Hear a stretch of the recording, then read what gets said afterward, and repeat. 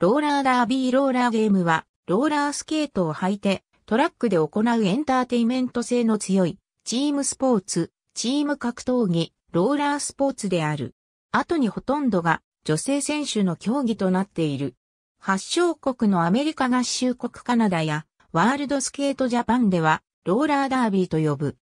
アメリカ合衆国で1930年代から発展、1960年代には流行し、テレビ中継も行われた人気競技だったが、1970年代で一旦流行が終了していた。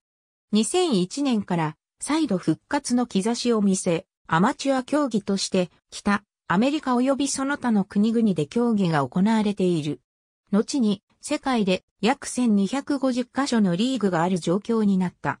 アメリカ合衆国のローラーダービーアメリカ合衆国で1960年代から流行し、盛んにテレビ中継された。しかし、アメリカ合衆国では市場調査の結果、このスポーツのファン層が購買力のほとんどない最低所得者層であることが判明し、やがてスポンサーが離れテレビ中継は下火になっていった。しかし、その後も一部に根強いファン層は存在する。アメリカ合衆国では、競技名としては、ローラーダービーが一般的である。日本では1968年4月から1970年9月まで、ロスアンゼルスサンダーバードの活躍が、東京12チャンネルで放送された。ロスアンゼルスサンダーバードの放送終了から2年後、日本人選手と日系人選手の混成チームが、日本人チーム東京をボンバーズとして1972年にハワイで結成され、日米でアメリカ合衆国のチームと対戦した。これらの試合が1972年10月から毎週東京12チャンネルでレギュラー放送され、静かなブームになった。純粋な競技というよりも、小的要素の強いプロレスと共通する部分が見られ、ブック、アングル、ギミック、暗黙の了解があると言われる。東京ボンバーズのアメリカ合衆国での試合も、日本で放送される場合はほとんどベビーフェイスを演じることが多かった。日米対抗ローラーゲームの最終回が近づくと、ヒールを担当している試合も放送された。アングル等により2選手間に構想が勃発、激化すると1対1による禁止儀のない試合マッチレースが開催された。マッチレースはテレビでは放送されなかった。1989年に米国で1シーズンだけテレビ中継が復活した。その後、1999年から2001年までアメリカ合衆国で4シーズンだけローラージャムの名でテレビマッチを中心に再復活した。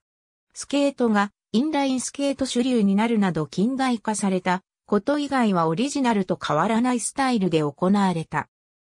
日本でも小泉博士が再編した第二次東京ボンバーズが起こしたローラースポーツのスピード、ダンスから選手を集め、ローラーバトルを名称とし、ルールを改正したギミック抜きの路線や女子プロレスラージャガー横田を選手として迎えた勢力等様々な形で散発的に復活している。2017年9月、国際ローラースポーツ連盟が南京で第1回ワールドローラーゲームズを開催。このローラーゲームは陶器時のローラーゲームのことではない。10分野に及ぶローラースポーツの世界選手権を一堂に開始開催したイベントである。そしてローラーダービーも一分野に入っていた。女子種目が実施され、アメリカが優勝した。他にオーストラリア、スペイン、日本が参加した。日本代表チームは国際ローラースポーツ連盟の日本の国内、競技連盟日本ローラースポーツ連盟が派遣し、監督は小泉博士が務めた。ローラージャムではインラインスケートが主流だったがこのローラーダービーでは全員クワットスケートかクワットスケートが主流である。1960年代から1970年代、当時に主流となっていたテレビマッチのルールを簡単に案内する。試合は、走路幅3.60メートル、一周が40から70メートルのトラックを使って行う。トラック一周の距離は試合を行う会場の広さに合わせた距離に調整できるトラックが使われる。トラックには0度から45度程度までの傾斜が付けられる。通称、バンクトラックと呼ばれる。1チームは男性5名女性5名の男女混成10名で構成されるが、交代要員として男女とも4から5名の選手がチームベンチに控えている。要員はチームの作戦に従って順次出場する。基本的には5名対5名の対戦。女性は相手チームの女性5名と男性は相手チームの男性5名とピリオド別に戦う。1ピリオドと3ピリオド目は女性陣が対戦して2ピリオドと4ピリオド目は男性陣が対戦する。反則行為にペナルティが課せられた時には5名対4名で対戦したり5名対3名で対戦したりすることもある。また、負傷などによりチーム要員が不足した時などは男性チームに女性が加わって対戦することが認められることもある。通常のテレビマッチでは1試合4ピリオド制で行われていた。1ピリオドとは10分間の試合の区切り時間を指す。試合中のトラブル等が発生した時間については、審判員の判断で時間を止めて、トラブル時間を加えないこともあるが、小さなトラブルでは進行する試合時間を止めることはない。各ピリオド内で最長1分制限の得点争奪競技が審判員のホイッスルを合図に開始される。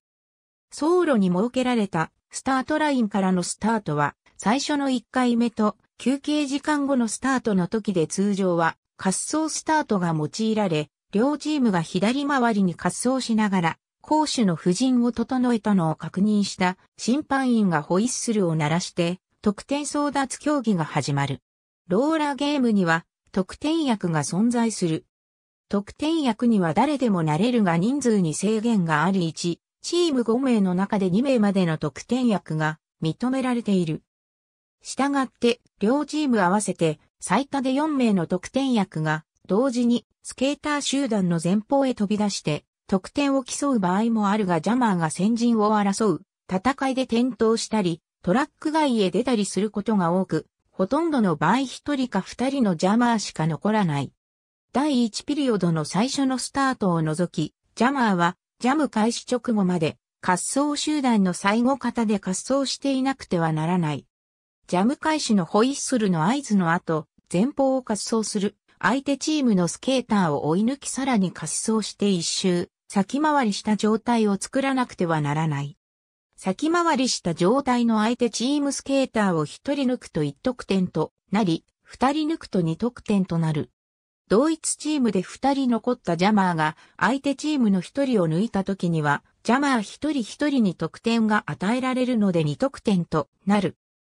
ジャムの項で記したように、ジャムは最長1分間制限なので全員を抜き終わった。後でも時間が残されている時はさらに先回りすることにより2度抜き、さらに先回りして3度抜きが認められるので先回りの条件を満たしている限り1人の相手から2得点3得点が理論上は可能となる。ジャマー以外のチームメンバーはジャマーが得点しやすいようにアシストする。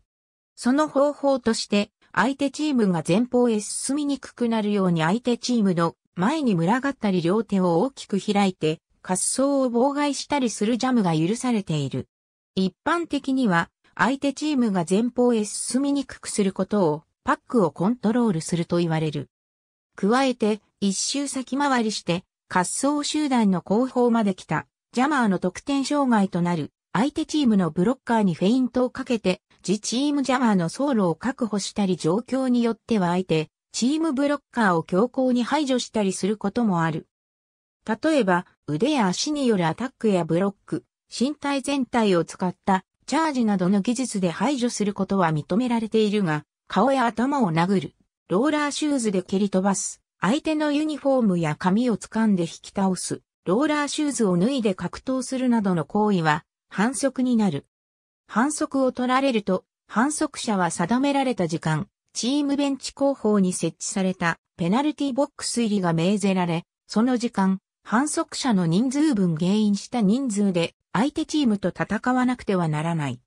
ジャム中に対戦チームに得点を許すと、ペナルティボックス入りしている人数分が加算されて、相手チームの得点となるので反則者を出したチームには不利となる。1分間の制限時間になった時、ジャマーが1人もいなくなった時、戦闘ジャマーがコールオフした時にジャムは終了する。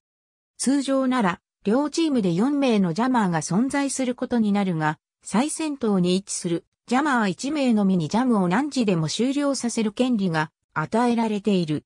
ジャムを終わらせる権利の主張は、先頭ジャマーが両手を自分の腰に当てがう形を作ることで成立し、コールオフと呼ばれて、ジャムが終了する。試合の勝敗は、最終的に男女が獲得した合計の得点で決まる。1960年代まで試合にヘルメットを使うことはなかったが、得点役のジャマーが誰なのか判断しにくかったために1970年代になってからジャマーはヘルメットを使用するようになった。また、同時にヘルメットを使用していないと、ジャム開始時に滑走集団の最後尾からスタートしていても、得点役のジャマーとはみなされなくなった。ローラーゲームのイベント的な色彩の強いレース。ほとんどの場合、5ピリオド目開始前に行われる。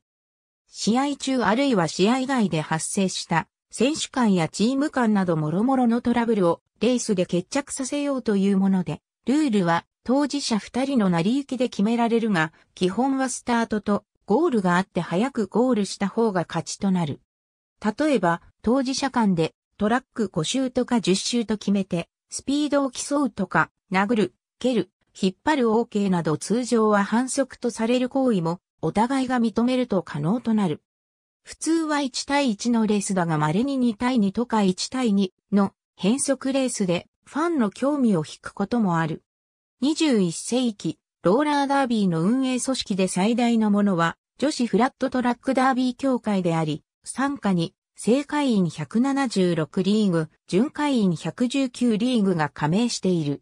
他に大規模なものでは、男子もしくは男女混合リーグが加盟する男子、ローラーダービー協会がある。アメリカ合衆国内では18歳未満が競技する試合はジュニアローラーダービー協会が管轄し、未成年用に制限された部分以外は、ホフトだとほぼ同じルールを採用している。アメリカ合衆国以外では、オーストラリアのスケートオーストラリアや、イギリスローラースポーツ連盟、ローラースポーツカナダなど、各国のスケート協会や、ローラースポーツ協会が管轄している場合が多い。ヨーロッパでは2010年までに、スケートボードやローラースケートなどローラースポーツの国際競技連盟である国際ローラースポーツ連盟が正式に管轄しており、この団体は国際オリンピック委員会にも加盟していて、東京オリンピックではスケートボードを主管する。このローラーダービーは世界に広がり、女子では後にアメリカが競合国となっている。アメリカ合衆国のローラーダービーの各リーグは現在のところ全国統一の組織が形成されていないが、ホフトだと、ウサーズが保険関連の事情で互恵関係を維持している。カナダのリーグの多くはアメリカ合衆国の連盟に加盟しているものも多い。1961-1975年ほか、ハット WSJ、 As the World Turns, So Do the Wheels of Roller Derby、ポール・ファッセル1983 Class, A Guide Through the American Status System、129-30格闘技ザ・ワールド18格闘技通信第3巻第12号ベースボールマガジン社1988年10月1日114ページ。ローラーバトルワールドチャンピオンシップスローラーゲームズローラーダービー日本代表選手団ワールドスケートジャパン。2020年8月9日閲覧。デファードフランクファイブストライズ。オンザバンクとトラック、ザライフタイムズオブザローラーダービー、リートル、ブラウンカンパニー、P89、ISBN 0から31617920 5ありがとうございます。